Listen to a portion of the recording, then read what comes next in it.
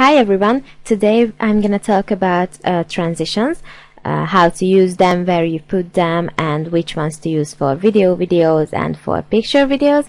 I'm also gonna uh, tell you which transitions are my favorite and most used ones and I'm also gonna show you some examples. So let's get started.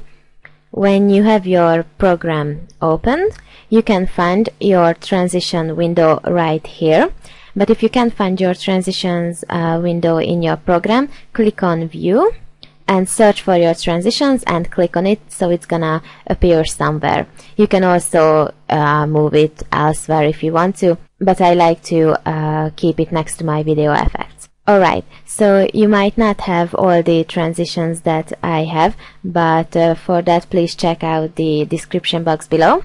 And the first question is where you put transitions, right? So normally you put transitions between two clips or two pictures.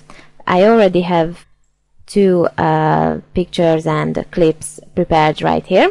So first of all, you are gonna need to uh, move one of the uh, pictures right onto the other, and you can you will see here that it counts the frames of how long that transition is. So what I find the best is uh, to have at least 8 frame long transition and uh, I mostly use from 8 frames to 12 frames and you are gonna make uh, two pictures or videos meet where the uh, beats are.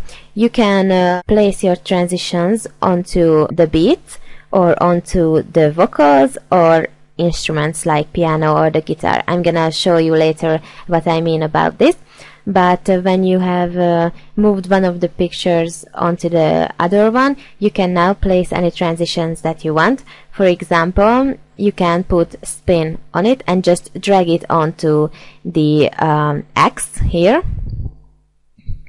And it already put uh, the transition there for you you can also change the settings of the transition if you played it back and you didn't really like it, like um, how I don't want it to shine this bright. You are gonna need to click on this icon right here which says transitions properties.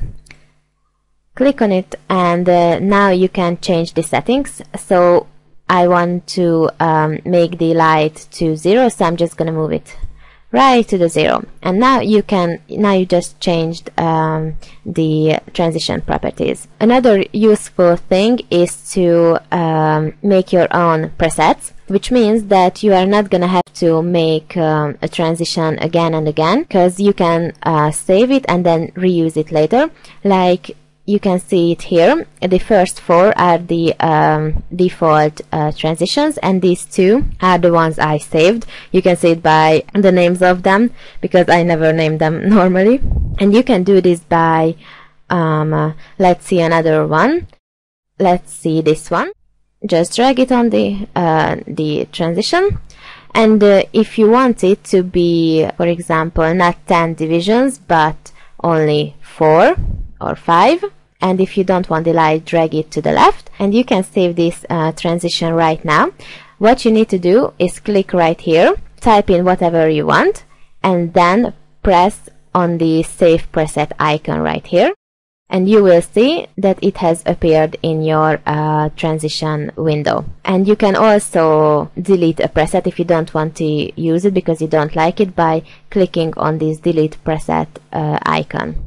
And now it has disappeared from uh, here.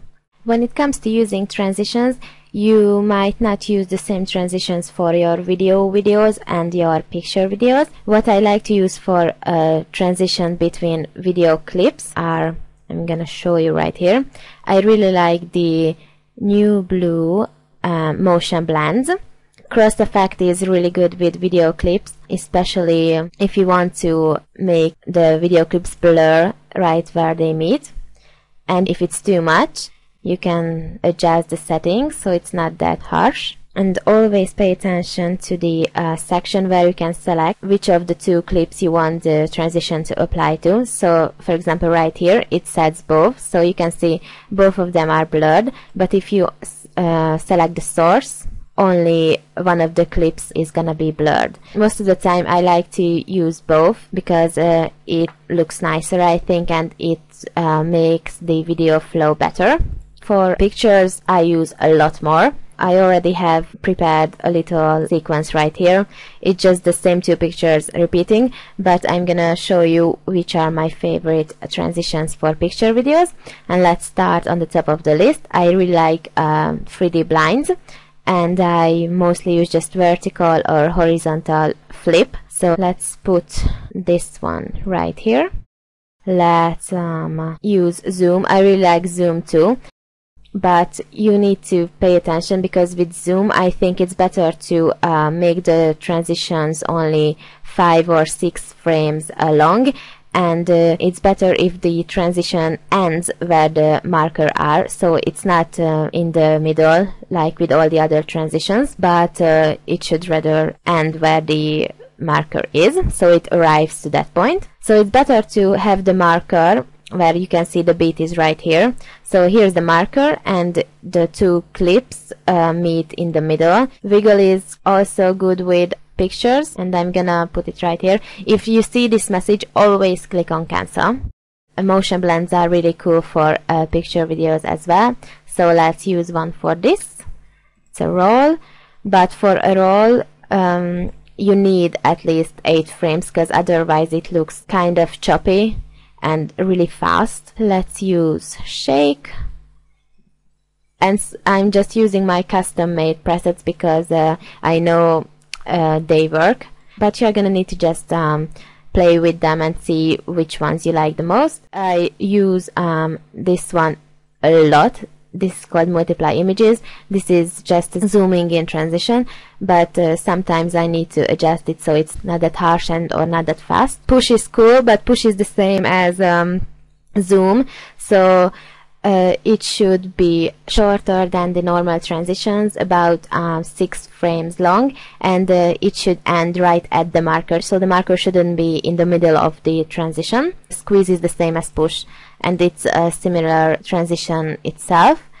And I'm just gonna end this with a spin effect. I'm gonna use this one that I really like. So here you can see it's the same as I was talking about earlier when you can select uh, which uh, of the two clips you want the transitions to apply to and uh, in this case I always use transparent uh, because that goes for both of the clips. Alright, so let's play it back now, if it looks good or it looks totally awful. As I said, when you edit a video, you have a lot of options to where you put your transitions when you edit. And most of the time, I edit on the beat. And I'm gonna show you a few examples from my previous videos. And this first example is when you edit onto the beat.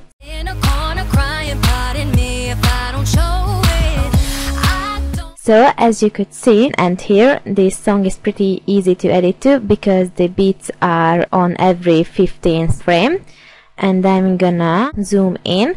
So as, as you can see on the uh, audio track the distance between two bits are mostly 15 or 16 frames.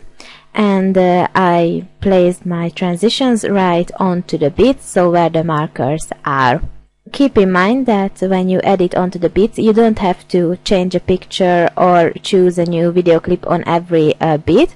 You can just have the picture uh, longer and for example place uh, a flashing image or a flashing overlay onto this uh, marker right here so the next way you can choose your uh, transitions is to follow the vocals or the lyrics of a song.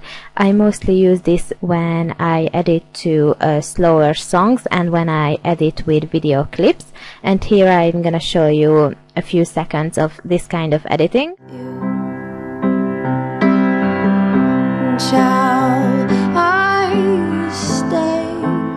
So as you could hear, I changed the uh, clips when a new word came uh, in the songs, and I also named it, uh, named the markers right here, so you can see what I mean.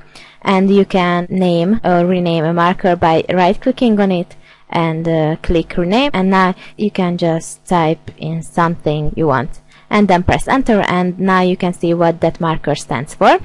So as you can see, the lyrics said shall I say and I chose uh, three clips for this and the clips uh, changed when the word came in the song.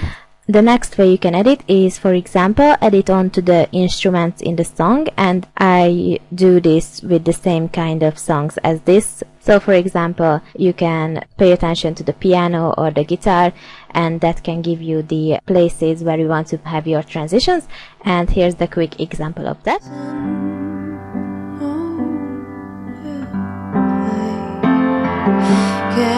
And here you can see that I placed my markers right when the keys on the piano have been uh, pressed down. So you can see where I first edited this uh, piece, I changed my clips right on the piano keys. And the uh, last one I'm gonna show you is when you edit to both the uh, vocals and both to the instruments. My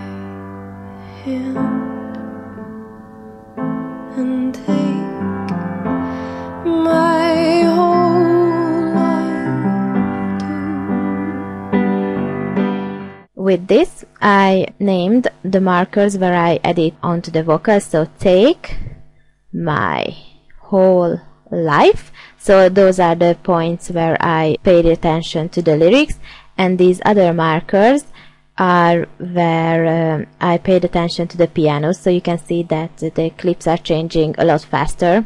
So you can uh, choose either of these four options or uh, all of them or you can just do it however you want it but it always looks really nice when it shows that you paid attention to the beats and the vocals because it helps your video flow better.